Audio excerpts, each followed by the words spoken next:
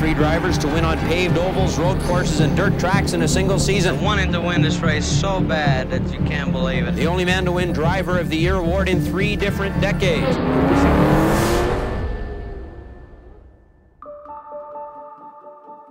Aldo and I, uh, we started going to the races. We go to every Sunday. And I figured, you know, why don't you guys start building a car?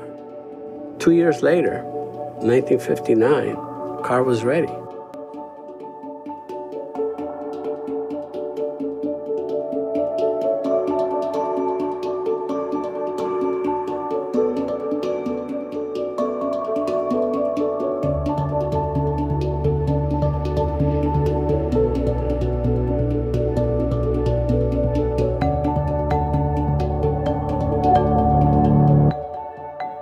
Rated E for everyone. プレイステーション。